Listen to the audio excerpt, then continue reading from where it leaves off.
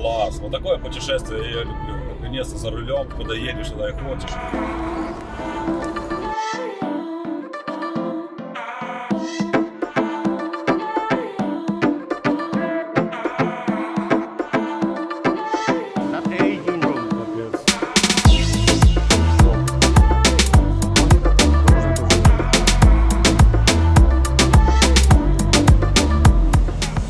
Всем привет! Вы на канале Virus Travel. Это вторая серия нашего путешествия в Доминикану. В предыдущей серии мы показали, как мы заселились в отель, сделали небольшой обзор отеля, поехали на экскурсию в Саману, посмотрели китов и также погуляли по пляжу Бавара.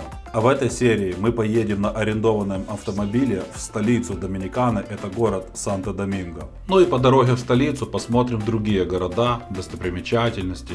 Также увидим маяк Кристофору Колумбу. А еще мы в Доминикане купим уникальный подарок и разыграем его среди наших подписчиков. Чтобы принять участие в розыгрыше, условия будут написаны в закрепленном комментарии под этим видео. Ну там стандартный лайк, подписка, в общем почитайте, вам понравится. Поверьте, это не какой-то магнитик будет. Заваривайте чаек, берите вкусняшку, устраивайтесь поудобнее и приятного просмотра. Доброе утро. Взяли в аренду машину для того, чтобы поехать в столицу Санто-Доминго. Вот такую машину мы взяли в аренду. Сразу ее осматриваем. Вот, царапина. Это у нас Kia Picanto. Без номеров. Ага. Я сюда еле поместился, подлокотника нету, вообще простое, все, навигации нету. Чуть меньше, чем полбака бензина и пробег у машины 163 тысячи километров. Где моя Subaru? Страшно в этой машине ехать.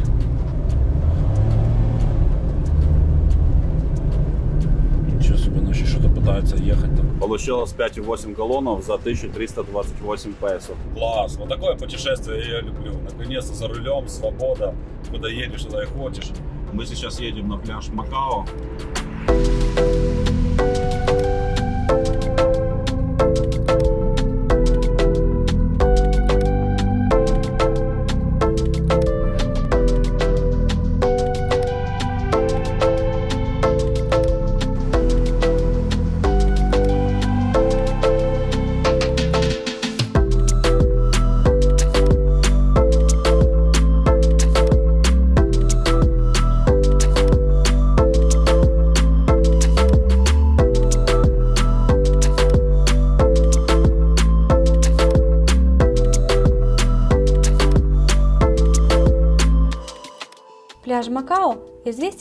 Туристам как лучший пляж для серфинга в этом регионе Доминиканы. При входе вы найдете школу для новичков с инструкторами. Есть и русскоязычные. Выбирают пляж Макао, потому что волны тут небольшие, но очень протяженные и терпеливые. Они дадут возможность новичку все-таки успеть на них прокатиться. Пляж Макао считается пока диким, поэтому он так привлекает туристов для фотосессий. Однако в 2020 году Министерство туризма Доминиканы приняло решение облагородить пляж, так что очень скоро он перестанет быть диким. Уже даже открыли пятизвездочный отель. Так что если вы захотите застать пляж Макао именно таким и без людей, советуем поторопиться, ведь он того стоит. Добраться туда пока вы сможете только на арендованном автомобиле, минут 15 езды от пляжа Бавара. Экскурсии сюда точно не ездят, а общественный транспорт в Доминикане пока не развит. Нам с погодой, конечно, не повезло, и пляж Макао мы увидели ветреным, однако его огромное пространство невозможно не ощутить.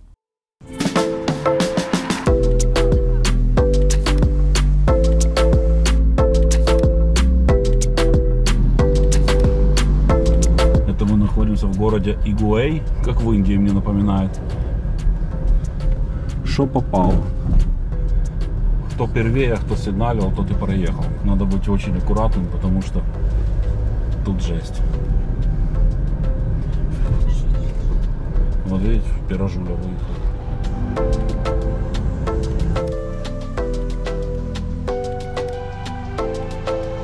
Мы приехали в их храм, базилика Богоматери Аль...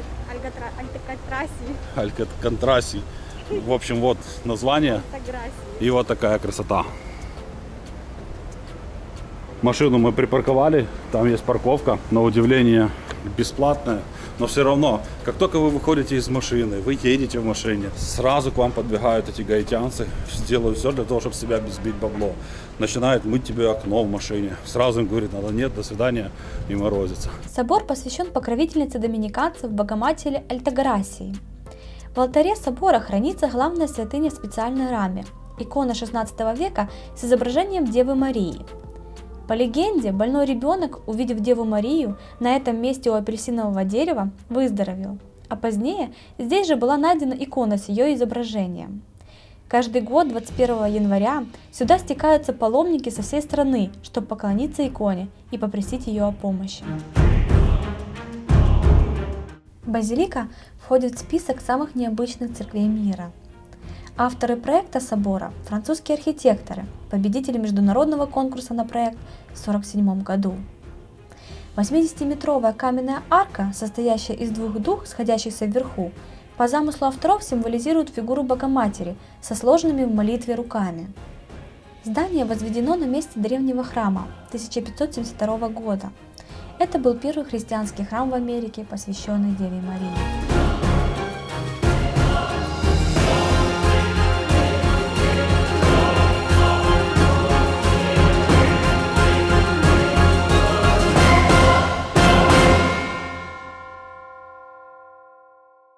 Очень сильный ветер.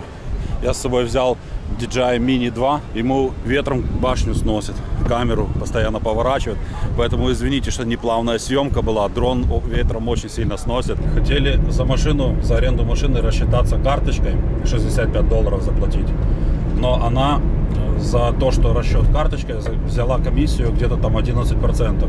И получилось в итоге 70, сколько там, 76 долларов. 72. И мы отказались платить карточкой, том числе и депозит карточкой 200 долларов за машину. Мы рассчитались наличкой, так что учтите. На эту машину есть базовая страховка, если какой-то ДТП, то второго участника они оплачивают. Если эта машина повреждена, тогда они 200 долларов этих депозита забирают. Для аренды машины всего лишь все, что нужно было, это мои права, права без срока действия. Я с собой на всякий случай привез временные права, которые на 2-3 года выдаются в Украине, международные, но они тут не понадобились. Тех прав было достаточно. Мы едем по их автобану, максимальная скорость разрешенная 100 км в час. Дорога хорошая, везде здесь дороги хорошие, без проблем. Едем в столицу, Санта-Доминго. Мы приехали к платным дорогам. Я не знаю, как тут платить. Я первый раз в Доминикане сейчас буду этот квест проходить. Hello. PayPass? PayPass. 60 pesos. Ok, card, credit card. Tarjeta no, efectivo. Only? Only cash. Only cash. Only cash. Do you have two door? 20. Дали сдачу Эссену. Тут окна не автоматические. Надо держать пока, чтобы закрылись. Дали 500, 700. Мелочь 10. Я грибу, надурили, чи не надурили. Поехали, потом разберемся. В общем, сразу все считайте. Нас обсчитали, оказывается, на 6 баксов. Нам дали, должны были еще додать 360 песо, потому что курс 1,58. Мы, получается, за это все заплатили 8 баксов. Потому что проезд по чеку стоит 60 песо. Это 1 доллар с копейками. Похожая локация, там где Форсаж 4 снимали. Такой обрыв, только не было бетонных перегородок.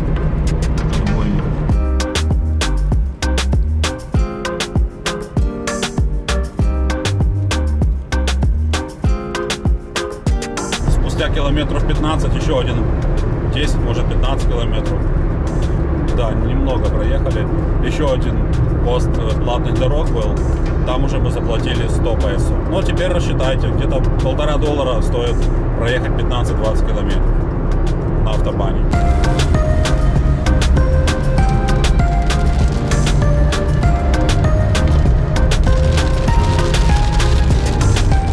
Мы с трассы свернули на такую дорогу, для того, чтобы... Ай-яй-яй.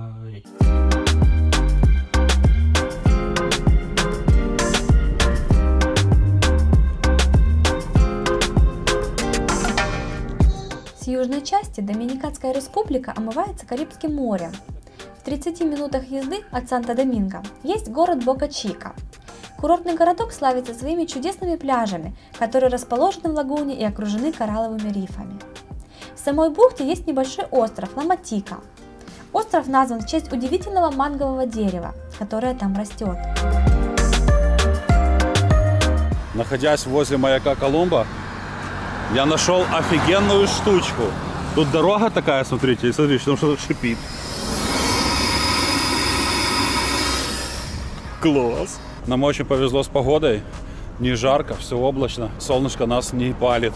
Потому что мы переживали, мы и так сгоревшие переживали, что еще больше сгорим. Не похоже на маяк. Так это, это, не, это не маяк, по сути. Оно так и есть. Это не маяк, это музей Колумба, считай. Мне оно больше напоминает, вы знаешь, когда эти немецкие огромные здания, Да, там где людей полили. структура. Это здание было достроено в 92 году в честь 500-летия открытия Колумбом континента Америки. И доминиканцы считают это здание недоразумением. Потому что раньше они включали прожекторы, которые очень мощно светили вверх, где-то на 250 метров. И у местных выбило электричество, потому что вся энергия пошла сюда. И потом перестали это делать и делают это только на праздники. На стенах маяка закреплены белые мраморные плиты с высказываниями великих путешественников, а также цитаты Папы Римского Иоанна Павла II.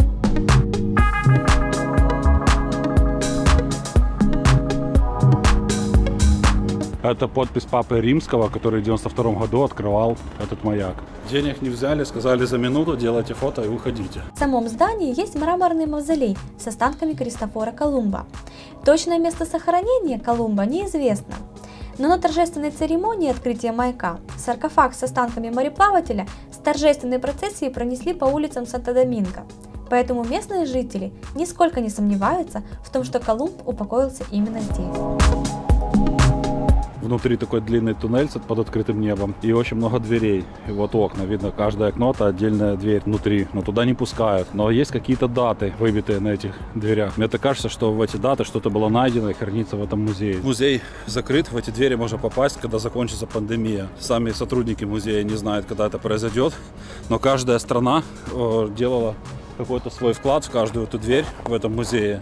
Вот, и там хранится Хранится история этих стран, которые пожертвовали на этот музей. История культурной ценности. Также там есть еще библиотека. Позади нас так называемый папомобиль. На нем везли Папу Римского на открытие маяка.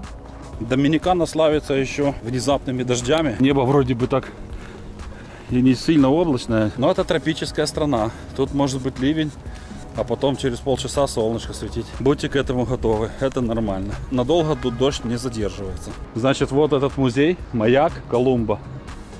А вот на той стороне виднеется Карибское море. Как вы думаете, может быть он именно оттуда на корабле приплыл, ступил на землю и тут произошло открытие, где он открыл Доминикану и Америку? Как вы считаете?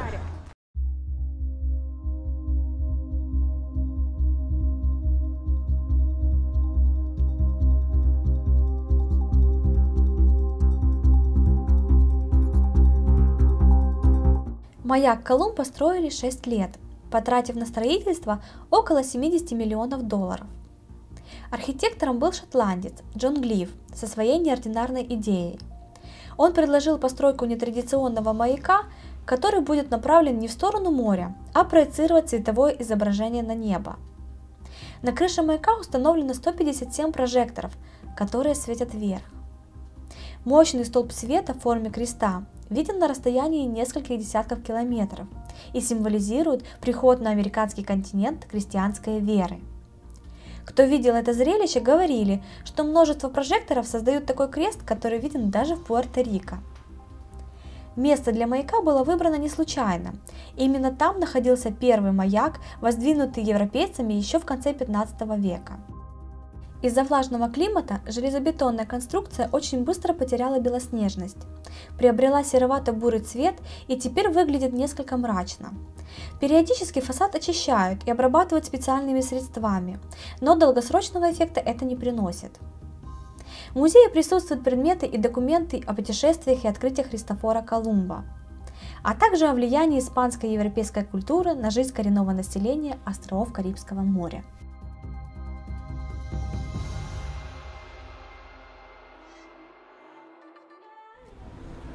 Мы находимся в городе Санто-Доминго, старый город. Вот припарковали мы машину. Если вдруг мы ее потеряем, я на видео вот записываю, где машина припаркована. А вы подскажете, напишите в комментах, где машина припаркована, для того, чтобы я ее нашел, если мы заблудимся.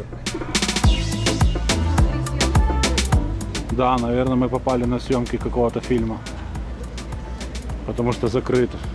Самое главное включить дурака и зайти сюда на дурачке. Ну, как будто бы ты тут живешь.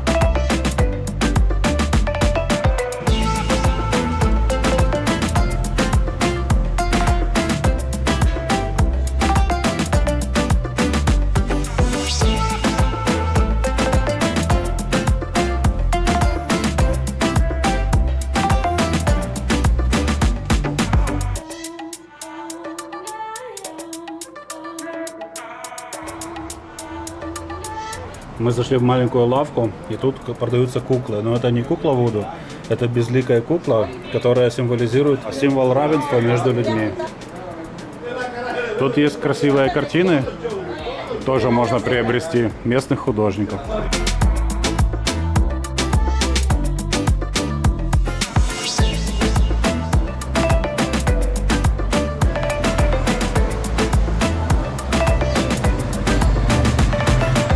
Это парк Колумба. Сейчас мы будем искать статую его. Смотрите, сколько голубей много. Угадайте, что я сейчас сделаю.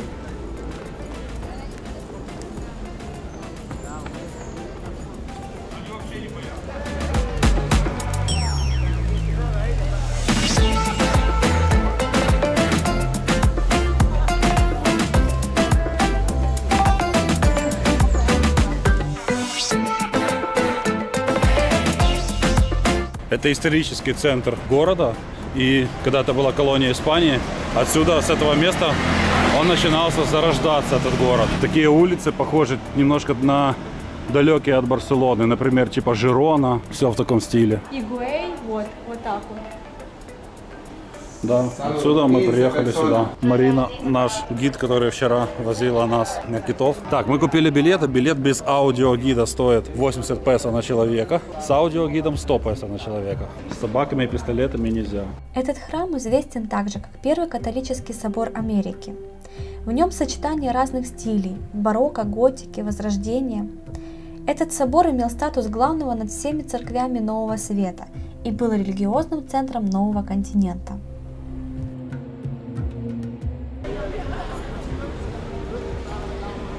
Лидирующие позиции в производстве сигар Доминикана заняла уже в 20 веке. После революционных событий на Кубе США наложила эмбарго на многие кубинские товары, в том числе и на сигары. Это вынудило многих кубинских производителей перенести свое производство в находящуюся по соседству Доминиканскую республику. Именно поэтому в Доминикане нередко можно встретить и кубинские бренды сигар, например, Ромео и Джульетта. This is the last leaf to finish the cigars. And the beginning, before of this leaf, and over here they have a empuño, four different kind of leaf.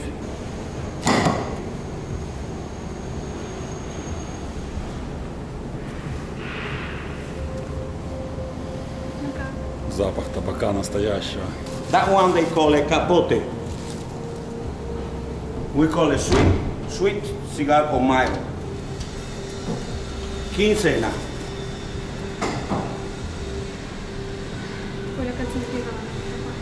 У меня уже голова кружится начинает. That aging room. Капец. Я в шоке.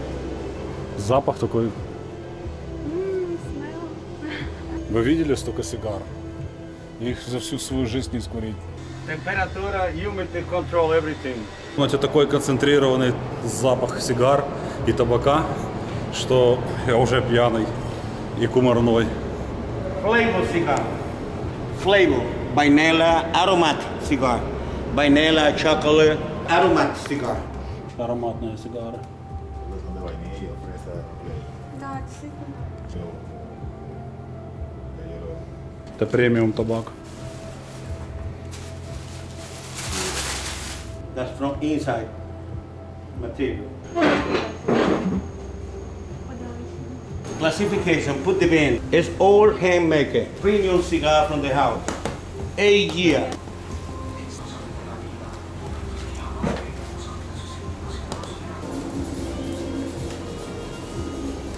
Мужик провел нам экскурсию, подарил маленькую сигару. Мы его отблагодарили, дали ему где-то 3 доллара. И дальше гуляем по, по колониальному городу. Старый город. Такая длинная улица. Есть кафешки. Картину он может купить.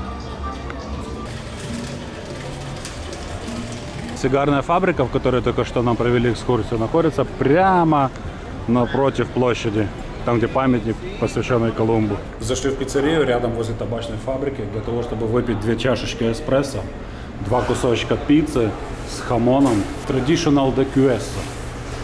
И все это 235 песо. Это недорого. И вот такая вот их пицца. Мы взяли один кусок на двоих, потому что ждать времени нету, пока они два кусочка сделают. Пиццу они нам первый раз забыли посчитать. Посчитали нам ее второй раз. 375 песо пицца стоит. Вот еще раз убедились в их доминиканском стиле. Я ему сказал, чтобы он нам два кусочка пиццы, одну кока-колу, два эспрессо. Но это слишком много для одного заказа. И он забыл записать пиццу, принес нам пепси-колу и два кофе. Мы сидим, ждем, когда же нам приготовят пиццу. 25 минут ждали.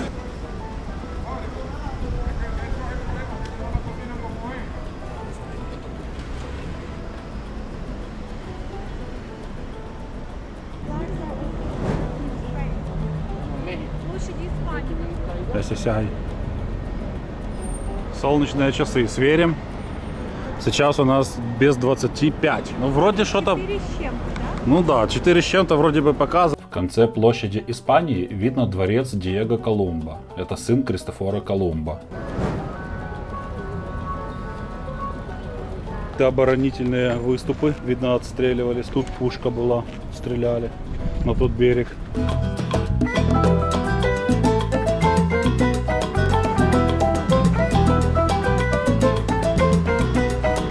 Видно, эта дорога построена позже была, потому что этот форт еще туда дальше шел. Дороги этой раньше не было. Разваляли форт и построили дорогу. А тут львы, наверное, сидели.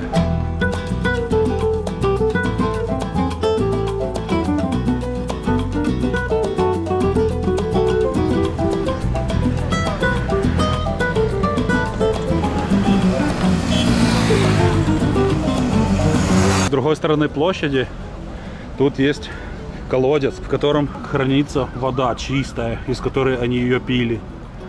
Или погреба винные были. Не, вряд ли. Напишите, пожалуйста, в комментариях, что было здесь. Мне очень интересно почитать будет. Наконец-то я в Доминикане увидел велосипеды, потому что до этого были только мотоциклы. Похоже на прокатные велосипеды. Они тут тоже есть. Чудненько так погуляли по городу. Сейчас поедем, если сможем найти канатную дорогу, посмотреть канатную дорогу, еще раз полетать дроном. А потом поедем ужинать в классное место, если успеем. Вот наша машина, мы ее нашли. Едем в самом центре Санто-Доминго городе. По бокам такой вот колорит. Продается все. Люди в маршрутку какую-то запрыгивают на ходу. Маршрутка без дверей. Доместос продается. Вон маршрутка поехала. Люди в эту открытую дверь на ходу запрыгивают. А вы еще жалуетесь на Богдана. Вон, посмотрите. Вон какая маршрутка должна быть. Она такая раздолбанная. Тут все машины, я смотрю, коснутые.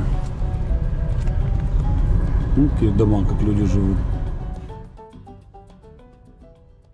Санто-Доминго – это не только столица Доминиканы, но и важный исторический город Нового Света. За последние десятилетия город значительно вырос и стал одним из основных туристических мест Доминиканы. Город делится на две части – восточную и западную. Эти части разделены рекой Азама, которая проходит через центр города. Восточная часть города не так хорошо развита, как западная, которая в последние десятилетия подверглась экономической экспансии. Река Азама впадает в Карибское море. В этом месте раньше находилась стоянка военных кораблей, а сейчас там паромный причал терминал Дон Диего. В таком удачном расположении есть еще одно уникальное место – крепость Осама. Это старейший военный форт времен колонизации Нового Света. В 90-м году в составе колониального города старинную крепость Азама включили в список памятников всемирного наследия ЮНЕСКО.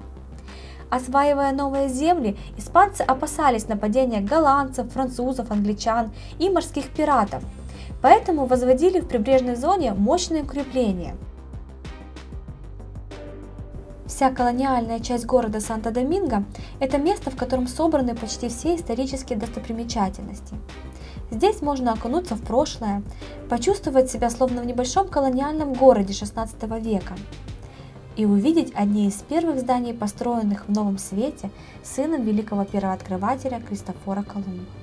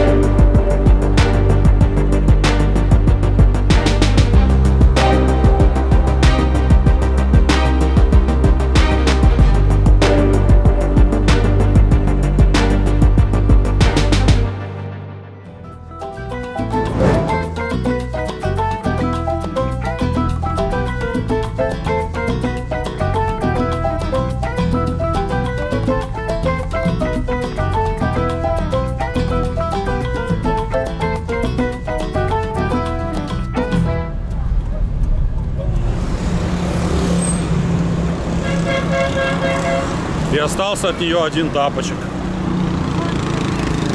А вот там район, куда самостоятельно пешком лучше не приходить. Там живут бедные люди. Там, наверное, преступность большая. И ваш 12-й iPhone они могут взять, посмотреть и не вернуть. 110 песо на двоих туда и обратно билет стоит. Но мы так не уверены, приедем мы обратно или нет. Но сейчас посмотрим, прокатаемся. О, это же мы на лыжах кататься сейчас будем. Ого, еще себе. Нас как туристов пропустили без очереди, потому что эти все люди, наверное, местные и с работы едут. А полиция нам сказала без очереди пройти. Классно, полиция очень помогла купить это все, разобраться переводчиком. Потому что у них только испанский, ни английский не знаю. Ну круто.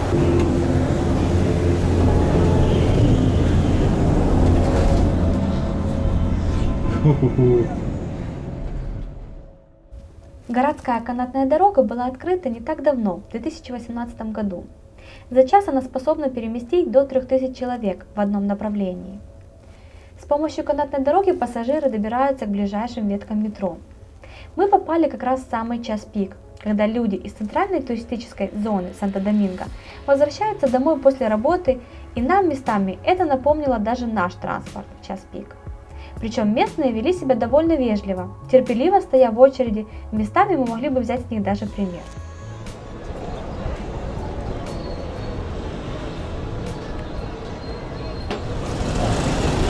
Люди выходят и можно дальше ехать.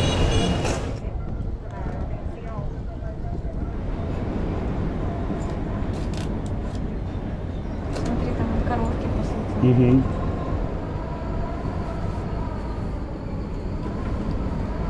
А вон петух в клетке сидит, видишь? Наверное, для боев, например, с петухами. Стерегут.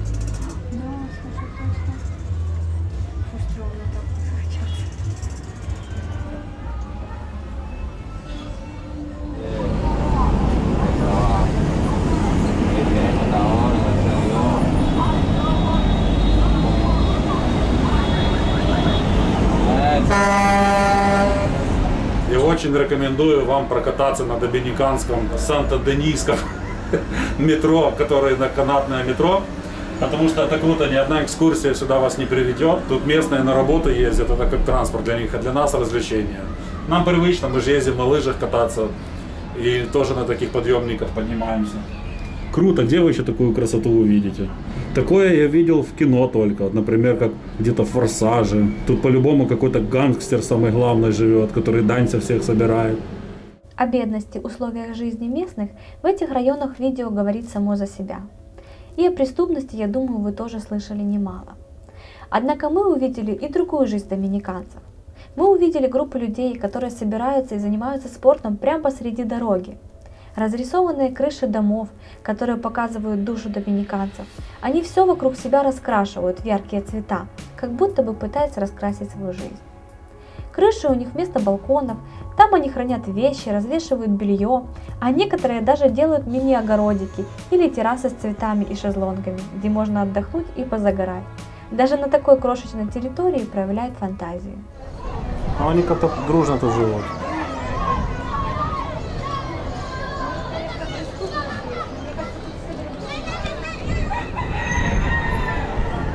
Да, мы сюда поднимались, была только там очередь на том змеевике.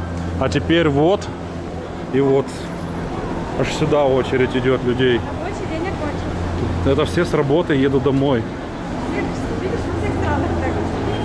Офигеть, капец. Вирус Travel рекомендует. Все, мы тоже встали. А вон метро. Ну там на билетах написано метро. Трущобки. Но я бы там хотел бы прогуляться. Переодеться в бомжа. Один раз. Бороду отрастить, испачкаться в грязи и пойти гулять. А кожу? Кожа белая. Да пофиг, главное бомжом выглядит. 8 часов вечера, трасса пустая. У нас бы в Украине такие пустые трассы были в 8 часов вечера. Красота. Единственный недостаток, тут все ездят с дальним светом, слепят, тут на это вообще наплевать. И часто встречается тоже, что машина вообще без задних фонарей по трассе едет, ее в самый последний момент замечаешь. Это, конечно, минус. Ну и люди стоят на трассе. Вот едет мотоцикл без, вообще без фонарей, без всяких светоотражающих знаков. До пункта Каны нам ехать еще где-то 90 километров. 8 часов вечера надо успеть хотя бы до 9, туда, потому что комендантский час. Хорошо, что будний день. Мы на заправке заправили еще полтора литра, полтора галлона пива, хотел сказать, бензина. И вот это взяли, 15 баксов стоит 6 корон местных, хочу попробовать. Отлича... Они стопудово должны отличаться от нашей короны. И два пива бутылированное, которое у нас в отеле разливают. Получилось 21 доллар.